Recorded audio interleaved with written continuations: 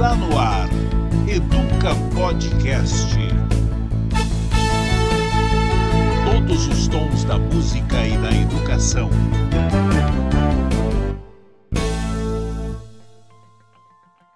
Olá, eu sou Adriana de Barros e você está sintonizada no Educa Podcast, todos os tons da música e da educação. O Educa Podcast conversa hoje com Supla e Francisco Tupi. Eduardo, Supla, Papito, Champs, Eduardinho. Paulistano, Eduardo Smith de Vasconcelos Suplicy é cantor, compositor, violonista, baterista, ator. Já atuou em novelas e também no cinema, e também como apresentador da MTV. Filho de Marta e Eduardo Suplicy, tem parcerias com nomes importantes do rock and roll internacional. Cantou com Ian McCulloch, do Echo and the Bunnymen, e se você não sabe, cantou também com Bebel Gilberto, Calvi Peixoto, Rita Lee, tem parceria com Cazuza. Supla começou começou a carreira aos 14 anos tocando bateria na banda Os Impossíveis. Em 1993, embarcou para os Estados Unidos com bom suporte educacional e experiências internacionais porque desde a infância viajou para diversos países, morou nos Estados Unidos já como músico profissional. Nosso outro convidado é Francisco Tupi, doutor e mestre em aplicação de videogames na educação e comunicação pela ECA USP estudou ensino e aprendizagem na Califórnia e é professor de letramento digital, fundamentos dos jogos, game design, gamificação criatividade. Tem vários projetos internacionais e foi palestrante nos ministérios da educação da Nicarágua e nos Emirados Árabes. Em 2018 foi indicado a medalha Darcy Ribeiro. Muito obrigada, Supla e Francisco Tupi. Para começar, eu queria saber de vocês um pouco desse repertório cultural e essas vivências fora do país, seja com a música ou seu acesso à educação, ou até frequentar shows internacionais, museus, enfim, queria que você falasse um pouco sobre isso. Adriana, o que eu posso dizer para você, eu aprendi a falar inglês, foi minha primeira língua. Com seis meses, os meus pais ganharam bolsa. E aí eu fui com eles para os Estados Unidos. E aí eu aprendi a falar inglês. E também frequentei, é, tipo, acho que é maternal, é, pré-primário, essas coisas que eu nem me lembro mais. Era tipo kindergarten que eu ia. Mas uma coisa que eu percebi, e de lá eu morei praticamente até os oito anos de idade. Os meus pais continuaram nos Estados Unidos para terminar o, o curso mas eu voltei para o Brasil para aprender português, né? E estando aqui, a forma que eu encontrei para, que nem a gente fala numa expressão americana, uh, to keep brushing up my English, né? Para tipo, tipo passar escovando os dentes assim para, sabe, limpar, para atualizar o seu inglês. Eu sempre tentei ler bastante e músicas também. Então eu traduzia muitas músicas, né? Tentando ler livros de coisas que que me interessavam. Você tem que se dedicar para não esquecer. Mas assim, você é um artista que assim, não é só o inglês que você fala muito bem, você é um artista que é muito bem articulado, fala com propriedade de várias coisas, você é um grande estudioso, assiste bastante filmes, muito educado, que é uma característica que todos falam. Você acha que essa sua vivência fora do país tem responsabilidade também sobre isso? Não, acho que não. Acho que a, a, educação que você falou, acho que vem dos meus pais. Você pode estar nos Estados Unidos, ou na França, ou na Nigéria, e ter pais mal educados, você vai aprender a ser mal educado, vai ter valores errados. Eu acho que isso eu aprendi com os meus pais, né? E você sempre foi assim na escola? Você foi um bom aluno? Eu era um aluno razoável, é, bem razoável, mas é, eu conseguia passar de ano e líder. Era um garoto popular. Eu me lembro muito antes da internet existir, eu já tinha vários fã-clubes assim de, de meninas assim que gostavam e de jogo de futebol também. Eu fui muito ligado a esporte também, basquete. Por incrível que pareça, eu comecei a jogar futebol nos Estados Unidos, uh, com um monte de meninas, que era o time Stanford Soccer Camp, que jogavam muito bem, por sinal, tanto que elas são campeãs mundiais, as americanas, né? Agora, eu acho que como qualquer outro assunto, quanto mais você se aprofundar e estudar, mais você vai aprender sobre, sobre esse assunto, né? Então eu tinha um grande interesse em rock and roll, então foi um assunto que eu me aprofundei, né? Porque é o que eu gosto também. Inclusive com esportes também, sabe? Fui surfista também. O surf sempre foi muito ligado, como skate também, muito ligado à, à música, né? A uhum. música da contracultura, por exemplo. Eu me lembro do Divo, B52, Oingo Boingo. Então todo esse esse tipo de cultura sempre me, me agradou muito, sabe? Eu, eu gostei, é uma coisa que eu me interessava, assim. E me interesso até hoje, por sinal. Até hoje eu, eu gosto. Aí eu queria saber, Francisco, de você, se você acha que a tecnologia ela pode ajudar é, que o aluno seja mais criativo. Se a tecnologia é um som ampliado e a escola um acústico, dá para fazer esse paralelo? Você acha? Não, não. Eu eu, eu, não sei, eu, eu, eu, discordo, sabe? Mas também concordo um pouco. Mas eu acho assim, tem um educador indiano que cresceu nos Estados Unidos chamado Dido Krishnamurti, que ele fala que não existe diferença entre educação e a vida. E ele tem um livro muito legal, que inclusive se encontra gratuitamente, que chama Educação e o Significado da Vida, que, aliás, só fazendo um, um parênteses aqui da educação e da vida, a música Kung Fu You para mim, foi uma declaração, porque o que, que acontece? Eu amo arte marcial, sou faixa preta de Kung Fu, e, e, o Kung Fu ele é algo extremamente multidisciplinar. Se você vê os praticantes de Kung Fu nos Estados Unidos, né, os, os norte-americanos negros, muçulmanos, o Bruce Lee ele criou um herói universal. Então eu já estou preparando uma, uma aula, uma palestra. Os próprios dançarinos de break, hip hop, se basearam muito em filmes, daqueles filmes dos é, Charles Bros, Bruce Lee,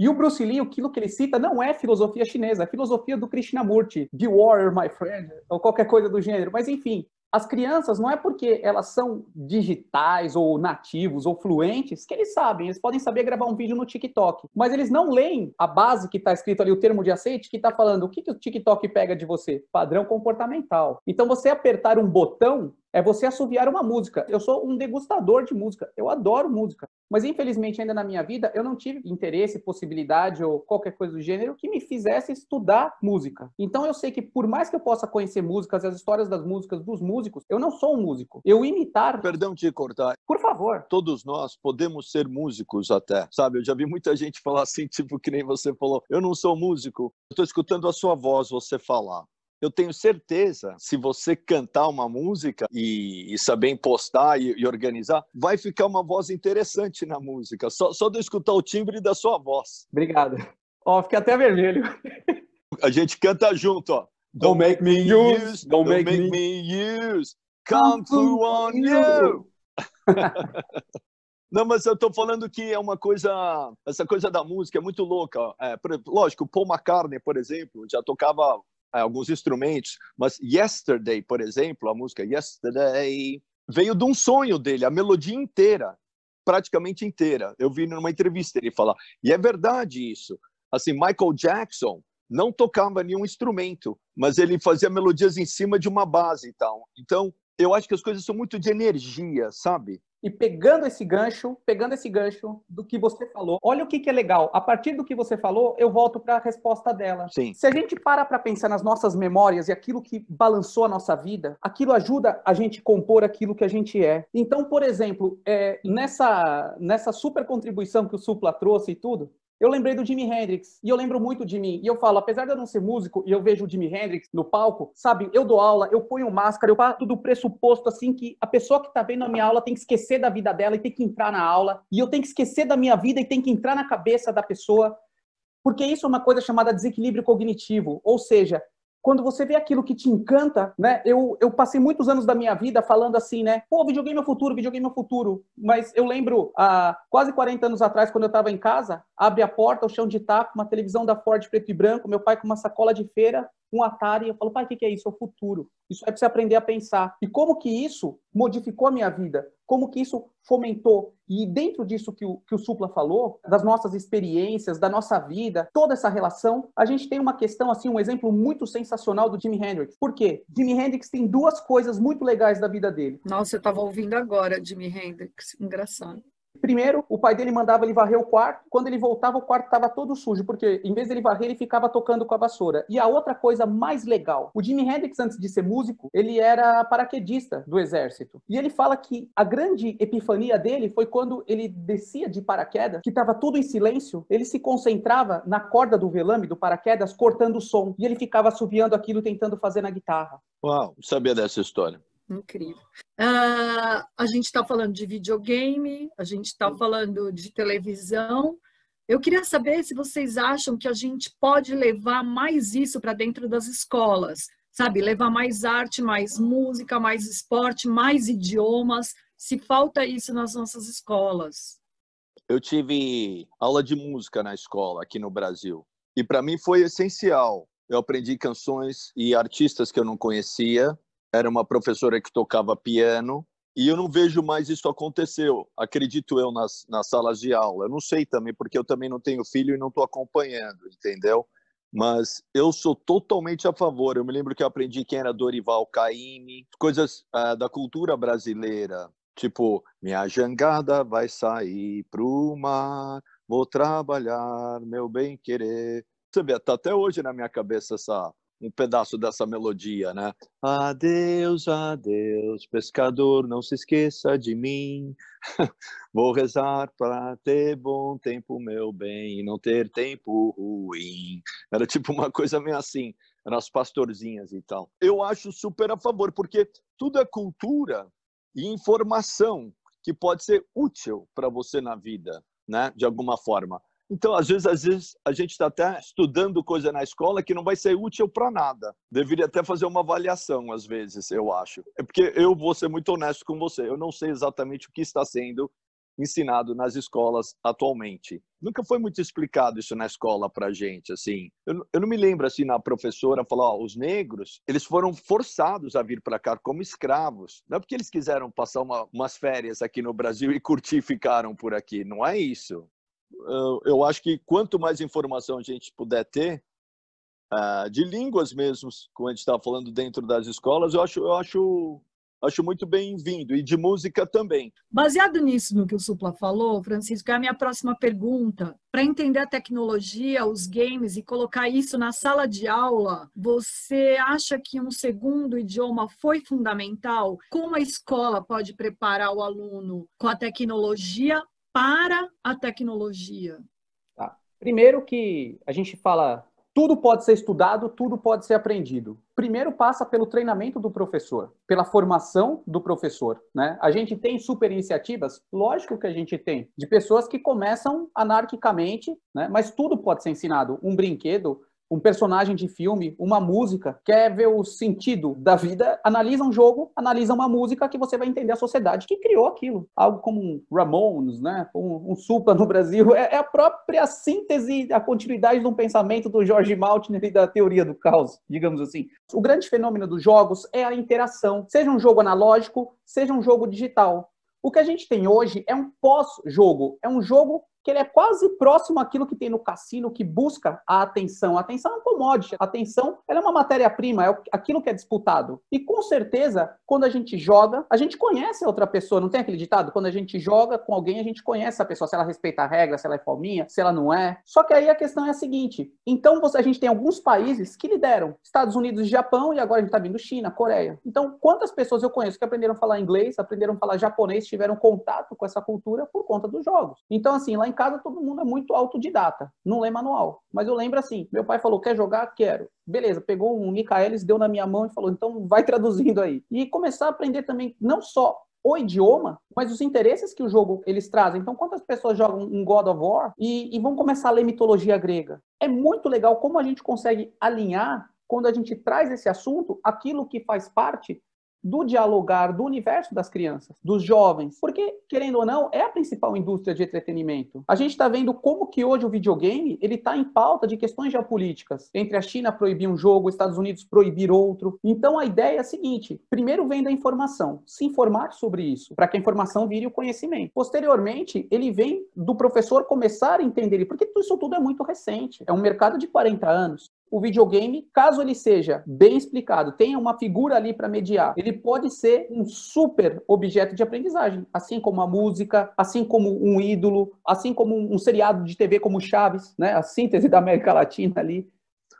Você falou uma coisa muito legal assim a respeito da tecnologia, que ela está aí é para ser usada, é mágica, por exemplo. O que eu estou fazendo com você é mágica agora. Tecnologia, ó, você está aí, a Adriana está ali, eu estou falando com você, a gente está se vendo, Sim. né? É uma loucura, estamos escutando. Isso é muito importante. E eu acho, e quando você ficou falando tudo isso, eu fiquei pensando em você que faz Kung Fu também, e ao mesmo tempo é tecnológico e tal. E eu mesmo coloquei para baixo falando, é, eu falo estragado, é, o Twitter como um, um sabe, um a fucking dildo, tá ligado? que me faz lembrar isso, assim, sabe, um pinto de borracha, não, mas na verdade tudo isso são ferramentas que são muito boas se você souber usá-las de uma forma produtiva, eu acho, entendeu? Quando a coisa do, do estragado do Instagram, é, sabe, se eu for para dar informação rápida e legal e, e dar toque, sabe, mas você pode cair de um lado totalmente da vaidade, também pode ficar uma coisa muito supérflua e boba e tal. Então, tudo isso eu acho que é a coisa da informação da imediata, assim, nós mesmos, para estarmos enfrentando essa pandemia, a tecnologia é muito importante, sabe? Poxa, o mundo inteiro já sabe. Aí eu queria saber, Francisco, você acha que essa interrupção das aulas presenciais, a tecnologia ajudou ou você acha que ainda tem muito a melhorar? Minha opinião, né? Minha visão. A transformação que nós estamos tendo agora não é uma transformação tecnológica, é uma transformação cultural. Essas ferramentas aqui, elas já existem há muitos anos. E o legal é o seguinte, eu sempre falo disso, a gente tem de um lado a tecnologia e a gente tem do lado a habilidade. Toda vez que a habilidade é maior que a tecnologia, a sociedade está num momento bom. Quando é o contrário, a sociedade está em sofrimento. Então, assim, a gente tem isso na Revolução Industrial, Segunda Guerra, o mundo entra em crise, não se produz nada, tem que aprender a usar o que tem, igual nós agora aqui. Década de 90, surge popularização da internet. Volta de novo. Os países que estão investindo em habilidades, eles estão conseguindo reverter essa curva. E eu não estou falando só países de primeiro mundo, né? Um país que eu falo, já estou falando, já estou cantando essa bola, Vietnã. Ficar de olho no Vietnã. O Vietnã investe em educação a mesma coisa que a Alemanha. Então, assim, a tecnologia, essa transformação, ela ajudou. A família a ser família. A família teve que ficar dentro de casa. Utilizar a tecnologia, os pais ajudarem os filhos. Então, desse ponto de vista, houve um, um patamar de equalizar não tem só aquele nerd que sabia de tecnologia e aquele que não sabia. Todo mundo teve que utilizar. Escuta, olha só, mudando um pouco o foco agora, você falando que os pais ensinam os filhos, eu queria aproveitar que o Supla se soltou o Supla, tenho a impressão de que ele teve uma educação bem aberta em relação à sexualidade, né? A mãe dele, a, gente sabe que foi uma das precursoras na TV, quando ela fez o TV Mulher falando de sexo, que tinha Elis Regina como madrinha do programa, etc. A madrinha. É, a madrinha. Mas a apresentadora, a apresentadora é a Marília Gabriel. E o Clodovil também, não pode esquecer. E aquele Ney Gonçalves Dias que falava de moda. Esse era arretado. E sua mãe tinha um quadro, certo? Lá.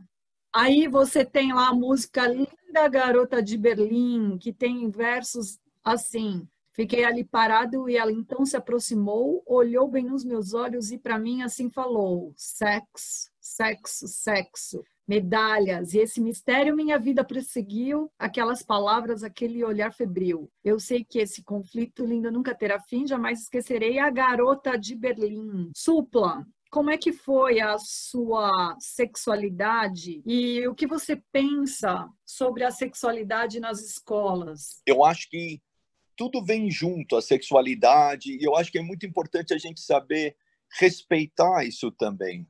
Ter um respeito com a sua própria sexualidade. Tipo, eu, se eu fosse um professor, eu falo, oh, pessoal, falando eu, né? Todo não pode discordar, todo mundo fala, mas deixa eu, eu acabei de ter essa ideia. Eu sou professor, ok. Eu não sei com que idade começaria. Eu acho que 12 anos deve ser uma boa idade. Acharia legal ter um professor, talvez, de sexo. Não precisa ser uma vez por semana, não precisa ser aquela matéria mais difícil, porque são coisas da vida rápida para a gente saber, sabe? Até para ensinar a pessoa mesmo, sabe? É, da, da, desde o ato da camisinha, como colocar, né? Se for ter, porque as pessoas têm essa vontade de ir lá e transar ou, ou se masturbar, que seja.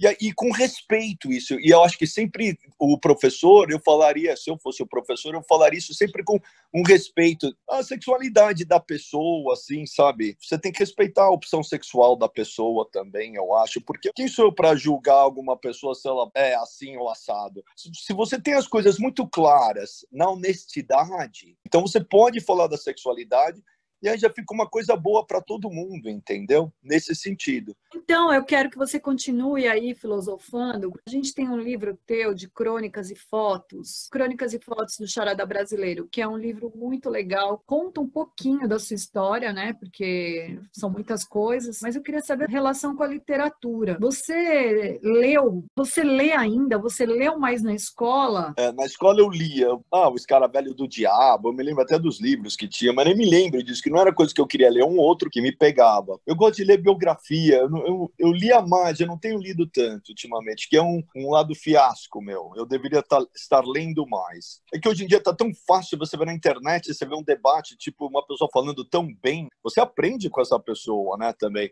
Então, talvez seja até por isso que tenha caído um pouco a minha parte de, de estar lendo para querer aprender mais, né? A gente está sempre aprendendo, né?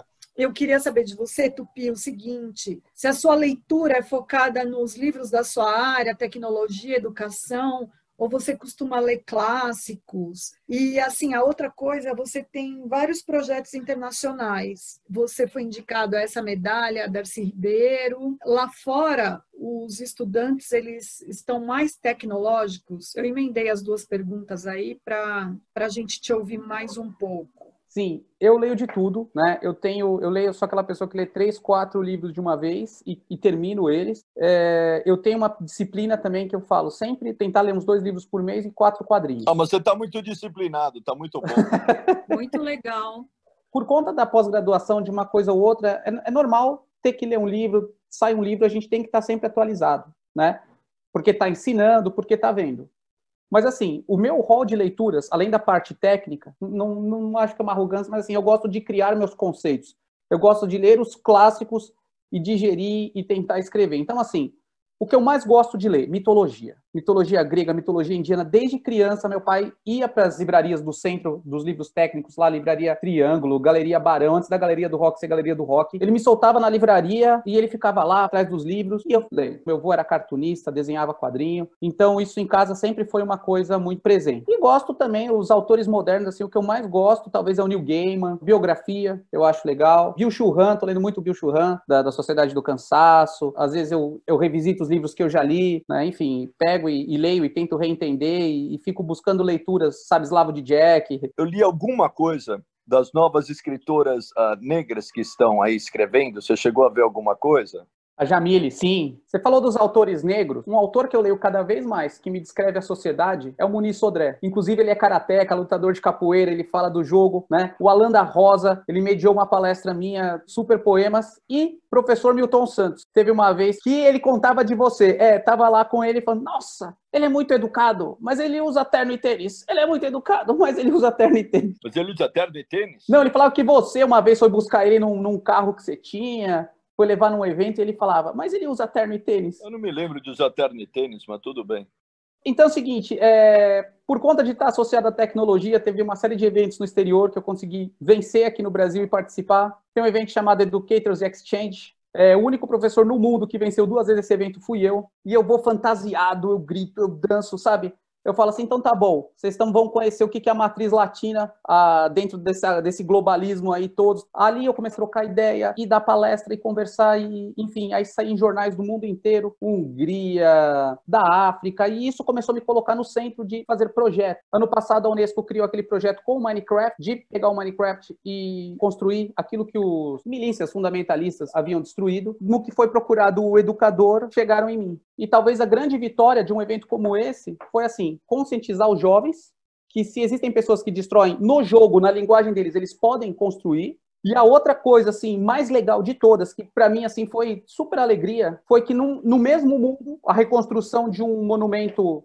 sírio tinha uma professora da Síria com alunos da Síria, uma professora de Israel com alunos de Israel. Tem uma educação que ela está acontecendo num plano diferente você tem é, crianças de 6, 7, 8, 9, 10 anos. Esses dias eu fui conversar com eles e eles falaram, professor, você viu lá o, o Roblox que está tendo um simulador para você salvar o George Floyd? Sabia que você pode fazer uma passeata dentro desse jogo? E aí eu comecei a buscar, tem coisas para o bem e para o mal. Tem simuladores da bomba de Hiroshima e Nagasaki. E aqui em casa, a minha esposa é nipodescendente. Se existem fluxos de informação que trazem memes, trazem bobagem, e até a bobagem ela pode fazer sentido, Existem algumas massas que acontecem em países que, por não ter tantos recursos, por terem recursos limitados, seja de dispositivo, seja de internet, eles estão nas redes, estão buscando conversa. Então, assim, uma coisa é a educação da escola, da sala de aula, frontal, a gente falando aqui, mas a outra coisa também, que a tecnologia ela permite muito, é uma coisa que foi dita nos anos 60 por um educador chamado Ivan Illich, que ele fala sociedade sem escolas, que ele fala que o que estraga a educação é a escola. Eu não gosto de falar muito isso, porque senão os professores ficam sem emprego, né?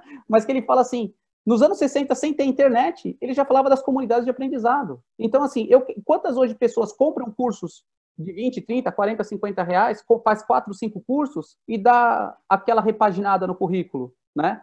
É, como que a pessoa ela consegue fazer a montagem da sua aprendizagem? Ô, Supla, você também teve uma banda com seu irmão, Brothers of Brasil, com uma outra pegada musical que é bem diferente das que você fez, porque você interpretou o Mário Lago no filme Noel Rosa, né? Ou seja, você criou uma série de habilidades. Você acha que essas inúmeras habilidades pode ser uma ferramenta essencial para o sucesso? Eu tenho um perfeito exemplo para você, se é isso que você me perguntou. Esse dia eu estava lá no NET, bate bola. Se eu não soubesse de bola, nunca teria sido convidado para naquele programa. Eu fui lá, virei um apresentador de futebol, que é um assunto que eu entendo. Então, isso já me ajudou a, de uma forma, eu estar tá lá para poder divulgar minha música do Kung Fu. E pegando esse gancho, pegando esse gancho, não dá para eu falar de um assunto que eu não domino. O peso da minha palavra é menor. Eu tenho que me colocar como um aprendiz. Então, assim, cada um de nós aqui, cada uma das pessoas que estão ouvindo, que estão conversando, tem aquele desequilíbrio cognitivo. Não existe ninguém que não tenha nada para ensinar e não existe ninguém que não tenha nada para aprender. É bom o ensino formal? A gente ainda tem um ensino formal que está se transformando. Mas o ensino de vida, o olho olho, ainda que é remoto, poxa, com certeza agora o que a gente está falando aqui serviu ainda para aumentar o peso dessas coisas que eu vejo, que eu acredito. Nossa, essa, essa aula para mim foi a melhor. Olha só, para encerrar, a gente está encerrando mais um Educa Podcast, mas antes tem a nossa provocação aos convidados. Eu queria, Francisco, que você, em uma frase, dissesse o que é educação. A educação é algo que vai legitimar o nosso viver. Talvez não exista nada mais revolucionário do que estudar e aprender a aprender. E você, Supla? Não existe nada mais gostoso, entre parênteses, lógico que existe, mas do que aprender. É muito gostoso. E saber ensinar, também passar para o outro essa informação, é muito gratificante. E saber escutar também. Eu acho que faz parte da educação.